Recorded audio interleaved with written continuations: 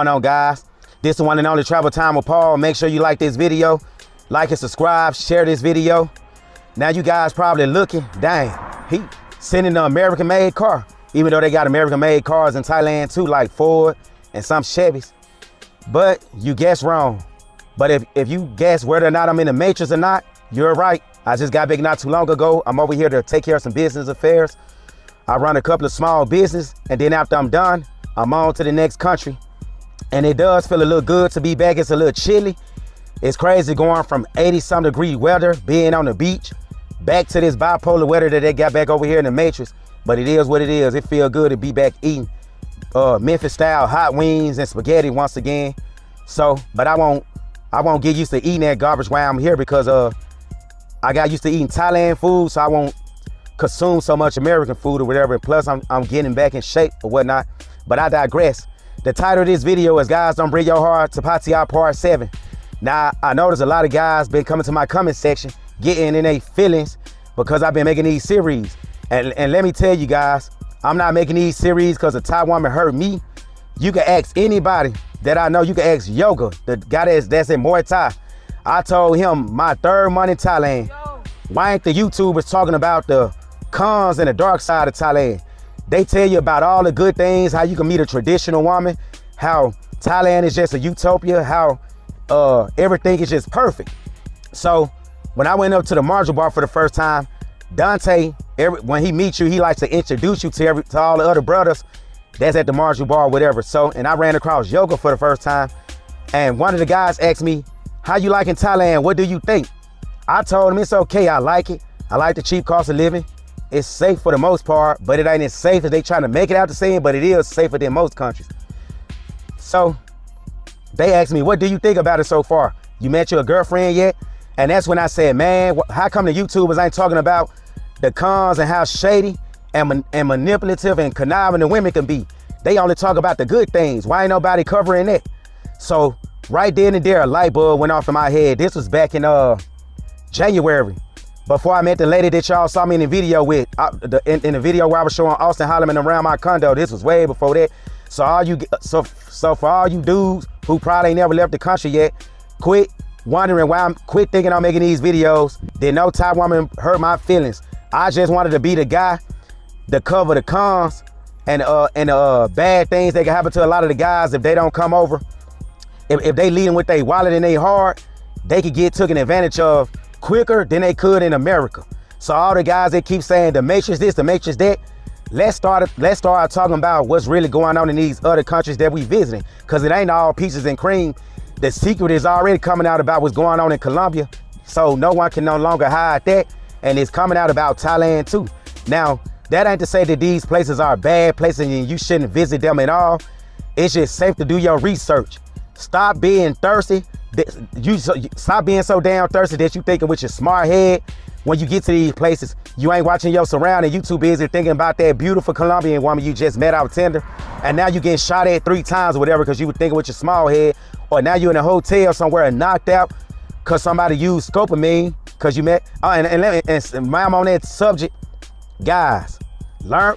This ain't, I'm not talking down on you guys. I'm just giving you guys the game for these other countries. Tinder, and Bumble dating sites, period, does not work the same as it does in America. So let me move this out the way. So if you got bad social skills, you need to work on it. Cause for all these guys, it, it, when you get to Thailand, when you go to Brazil, when you go to Colombia, when you go to Turkey, you can cold approach women. If they turn you down, a lot of times it'll be in a polite way. They won't be as mean, as aggressive as a lot of the women in uh, the Matrix or whatever. Stop meeting these women on these dating sites. That pre-game shit does not work in these other countries. On these dating sites, especially a place like Colombia, Tinder, to Tinder to be exact. Ain't nothing on Tinder in Colombia but set them up chicks. When you go to Thailand, ain't nothing on Tinder but lady boys and freelancers. When you go to the Philippines, ain't nothing on Tinder but a lot of freelancers. And then the women on Tinder and Bumble that ain't freelancers, You'll be lucky if you meet one of them in person. You know why? Because once you start getting on the date scene, you, you once you try once you when you trying to date talk to these women on the international level on these dating scenes, you competing with guys all over the world, especially a place like Thailand, which is one of the most visited countries in the world or whatever.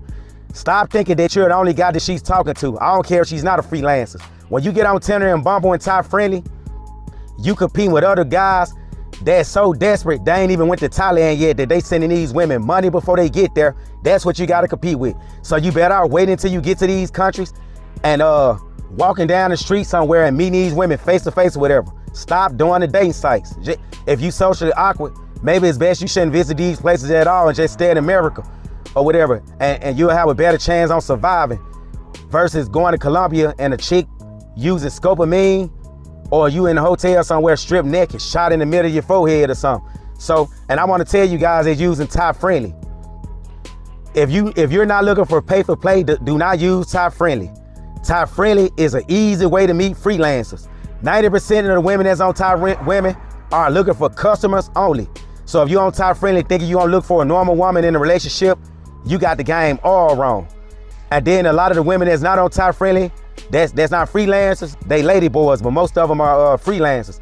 That's why dating uh, that's why dating sites don't work outside of America. It does not work the same. Now, let's get into the topic of this video. Guys, don't bring your heart to Pattaya Part 7. Now, a few weeks before I left Thailand, I was hanging out with a friend girl of mine from uh, Pattaya. She originated from Isan, but she's been in Pattaya for six years. She's a freelancer. Now, when I don't feel like using the Bolt app to get around or get a motorbike, I can always call on her and she'll give me a ride around the town or whatever, a lot of times for free.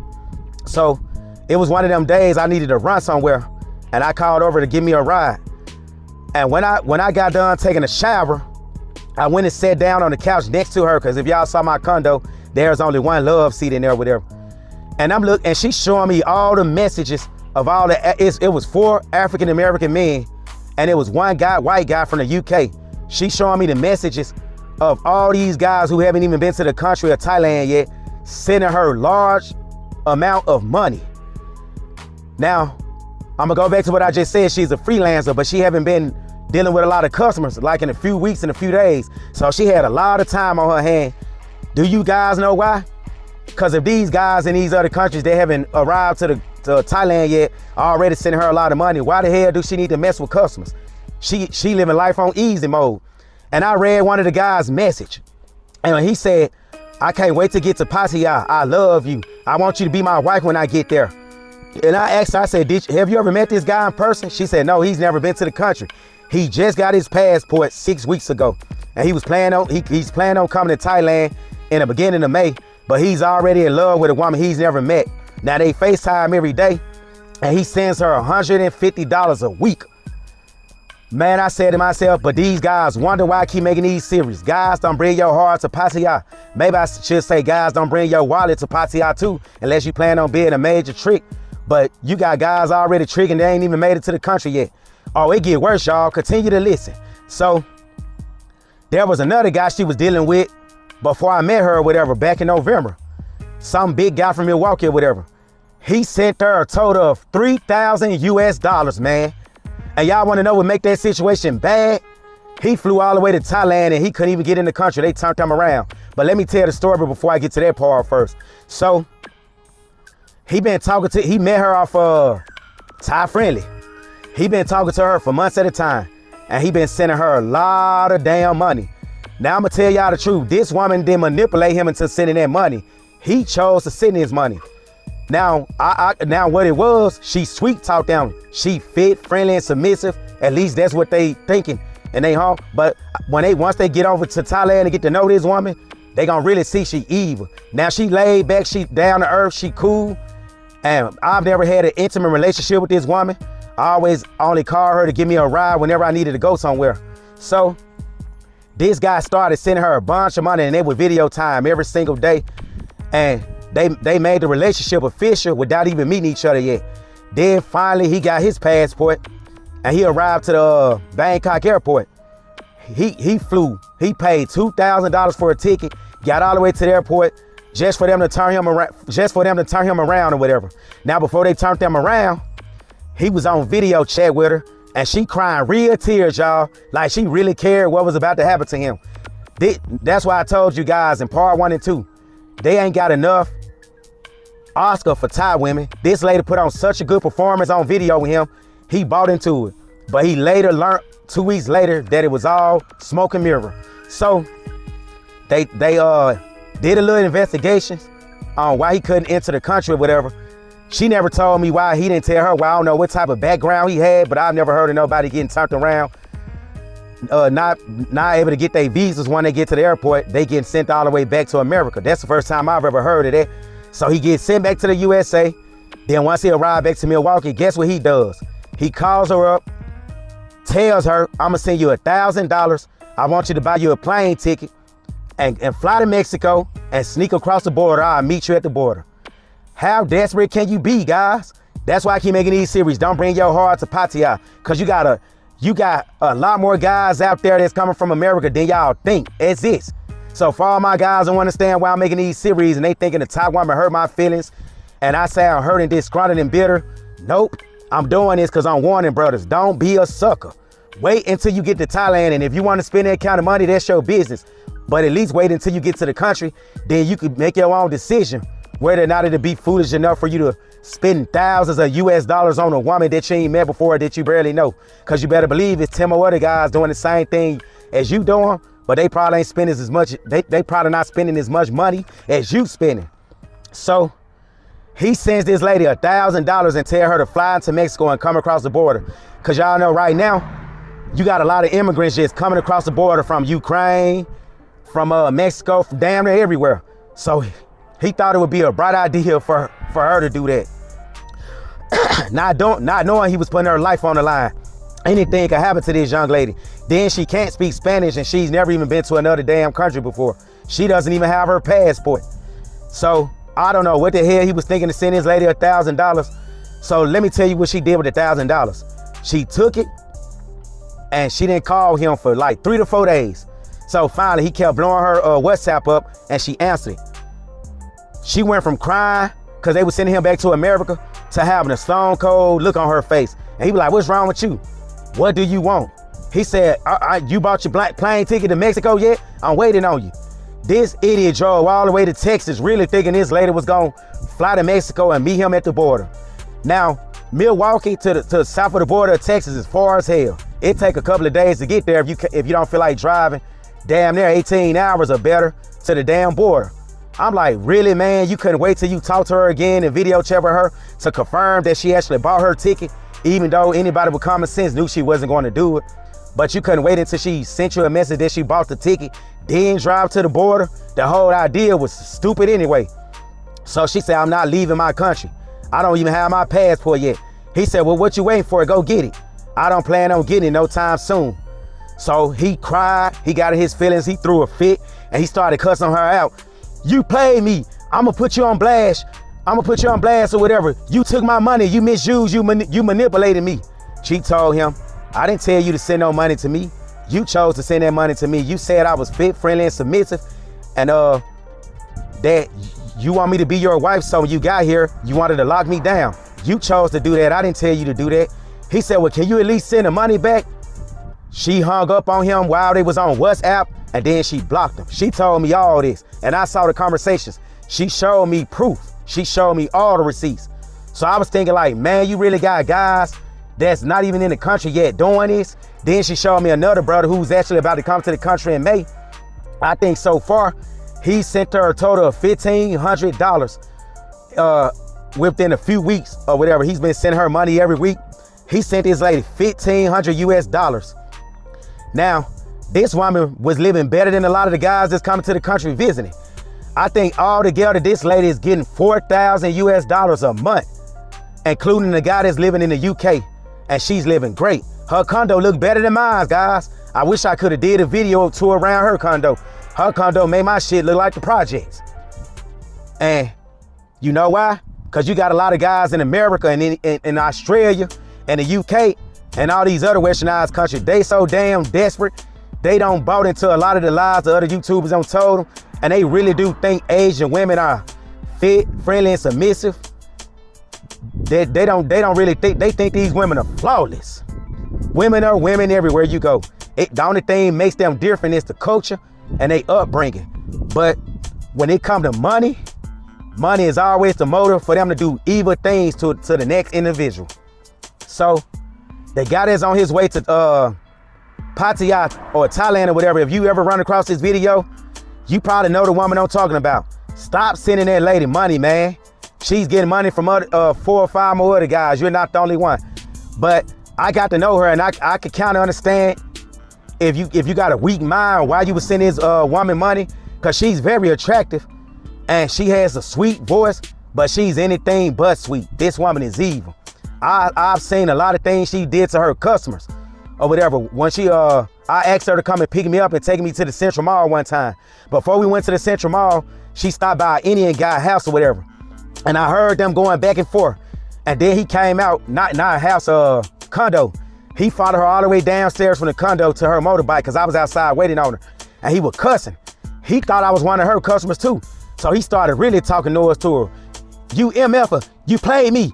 Uh, I spend all my money on you, and this is how you do me. I tell you, get out of the life, and you still mess with other customers. And she started uh, going off on him too. Now, if y'all heard this woman cussing, y'all probably would have thought she was from Oakland, California, but she just had an Asian accent.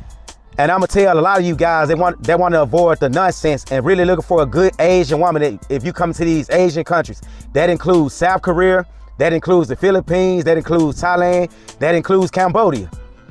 If you run across an Asian woman that listen to a lot of rap and hip hop, cause you better believe they ain't listening to the rap and hip hop that we grew up off Public Enemy, a tribe called Quest and all that. They listening to the low vibration hip hop and they getting indoctrinated by that, by the GloRillas, by the Megan Thee Stallion, by the Cardi B's, by the Nicki Minaj. That's what they listening to.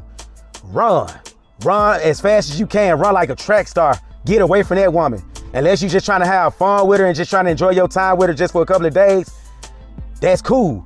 But if you trying to have a serious relationship with her, she's not the one. Now, don't think because you like rap, you gotta have you an Asian woman that like rap.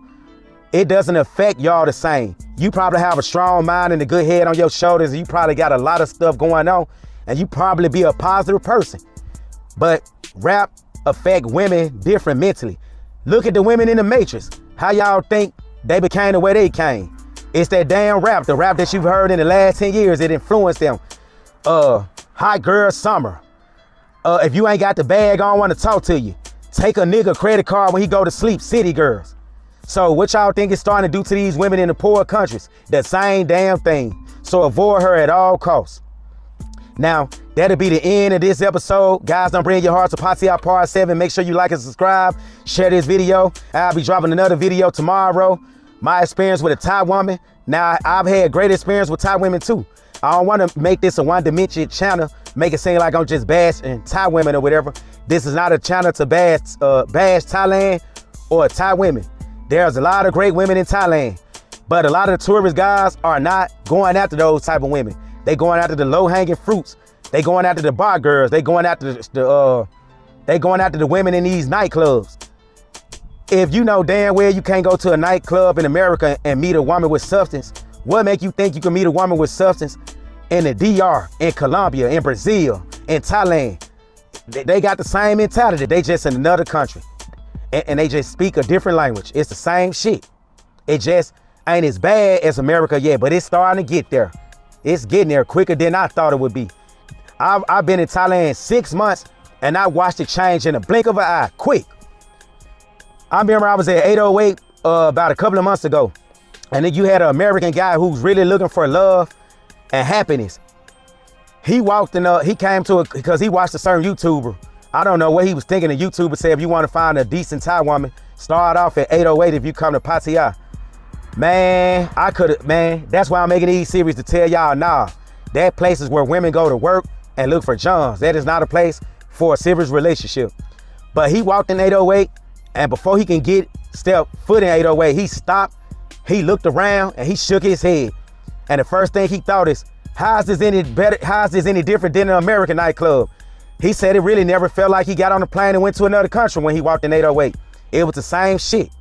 Women twerking, women quoting all the lyrics to a Glorilla song, uh, women walking around rolling their eyes with attitude. It was the same thing.